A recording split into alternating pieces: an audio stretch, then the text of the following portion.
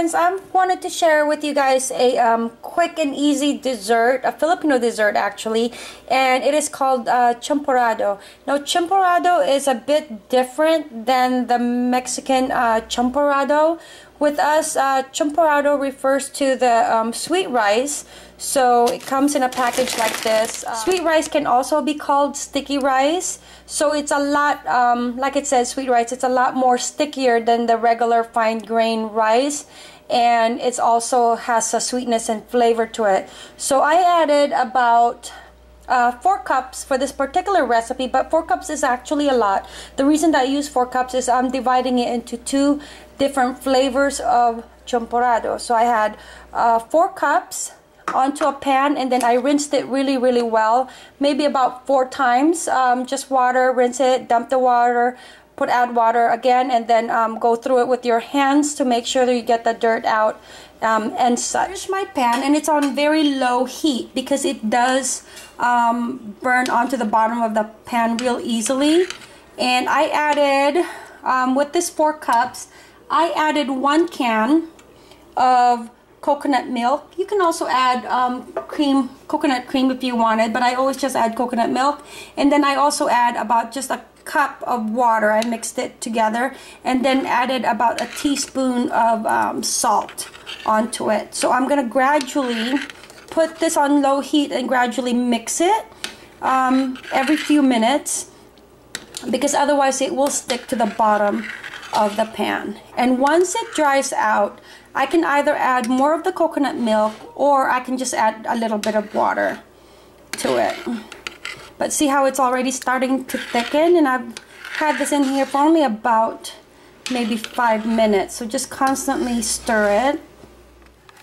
Alright, it has doubled in size and and then if you feel like it's actually getting a bit dry, then you can either add some more water or more coconut milk or just a regular um, regular milk that's in your refrigerator.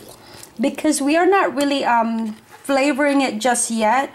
We're just cooking the, the grain, the rice grain. And you can tell that it's cooked when, um, when you bite into it and it's really um, soft, um, soft and tender. So this is how you cook um, sticky rice. It's basically just um, just like cooking regular rice, but um, you're adding some uh, sweetener to it with the with the coconut milk or with the regular regular milk. And once you have it cooked like this, it's very versatile. You can make so many dishes with just this part of it. Um, if you guys like Thai food and there's um, sticky rice over mango over sticky rice, this is exactly how they make the sticky rice. You can um, you can just have it as is, just like this, and then slice up some very ripe mangoes, and then add some coconut milk on the top, and then you have yourself a, a very delicious Thai dessert. In Filipino dessert, we have uh, which is basically sweet rice chocolate pudding. And that's what I'm going to show you guys today. But I'm going to cut this recipe in half. So I'm going to use part of it for the traditional um, sweet rice chocolate pudding champorado. But then on the other half, I'm going to show you guys how I make my ube champorado. Almost cooked. I'm going to go ahead and add about a third cup of sugar. Now I'm just eyeballing everything because it is not an exact um, uh, ingredient recipe. You don't need to be exact with anything. You just got to be exact with making sure of cooking um, the sweet rice and making sure that it is soft. Otherwise, um, any kind of rice, when you don't cook it thoroughly, it, it's crunchy. It's it's it's hard in your in your teeth in your mouth. So you just got to make sure to cook it um, until it's really soft. But if it's dry, add more water, add more liquid of whatever you're choosing is. The milk, the coconut milk we'll already add a bit of a sweetener to it. And then later on when you finish it off you'll you'll also be adding uh, more sweetening to it. So you don't really need a whole lot of sugar when you're cooking the rice. So this is almost ready for me to separate going to show you guys how I'm going to make it into different types of uh, that I make for the family. So the first one is the traditional chocolate champorado that calls for cocoa powder and I also like to add bittersweet chocolate to mine. So for this amount um, I added about two cups of the sweetened rice. I will add half a cup of bittersweet chocolate and then half a cup of the cocoa powder onto one batch. And then on the other batch, I'm going to make um, ube champorado. And that's not a very traditional or common champorado. It's something that um, I've come up with. Um, I'm not even sure if there there is a recipe because um, there's a recipe here of the ube recipe that I have. Now with that ube recipe, I have mentioned that I do freeze it and then you can add it on on top of ice creams, on top of desserts within bread itself. So there's a lot of ube um, recipe, ube recipes that we have in the Philippines. It's mixed in with the bread recipes. You can have a, a regular typical bread, add on your ube halaya onto that, and then there goes our ube um, bread. You can put um, ube with macarons, which I do. You can add ube um, halaya onto almost anything. So now I figured I might add it, um, might as well add it onto champorado. I've done this a couple times. I like it because I love the taste of ube. The family likes it as well.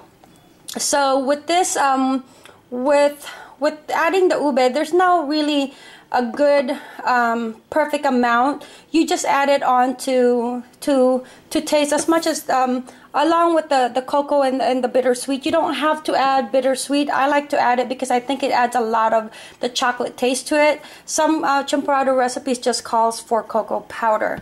So I'm gonna go ahead and add that, and then I'm gonna show you guys how I mix it. So here's the traditional chocolate champorado. I'm gonna go ahead and also add about a quarter it's already bubbling. A quarter of evaporated milk onto that.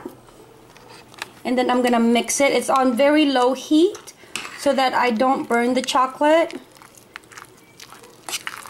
Mix that really well. I have gone ahead and turned off the stove.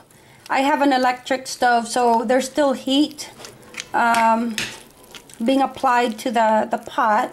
So I'm going to go ahead and keep stirring and already I can smell. This is a very um, sweet dessert. Uh, we usually have this for breakfast but we also have it for merienda. Merienda is our typical afternoon um, snack just like the, um, the Spaniards.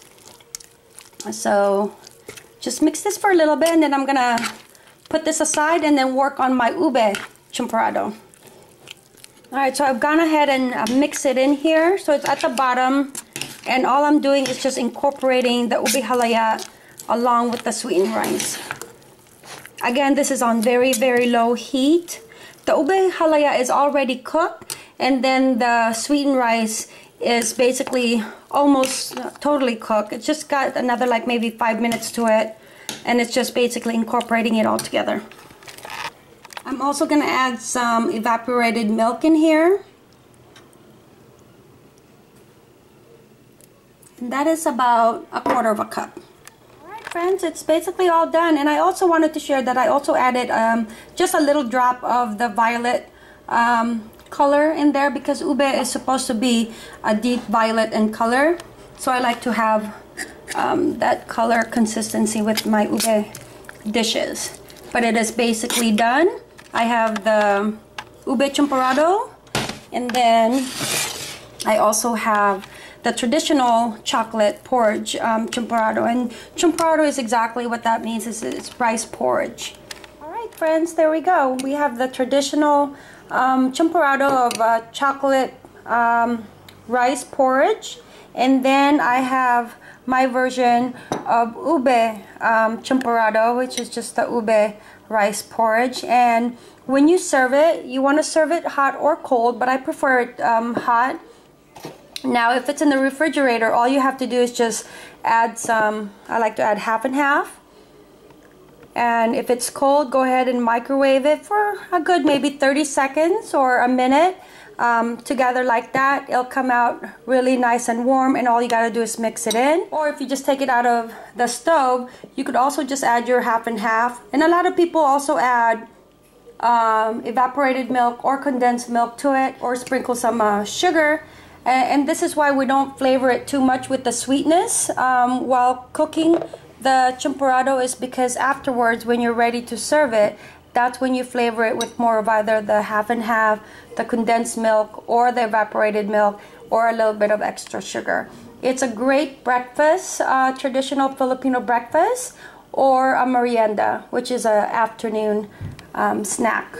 I hope you guys enjoyed this Filipino recipe. As always, thank you guys for watching A Simply Simple Life. Mahalo! I like to really mix it in there. Absorb all that ube with the half and half.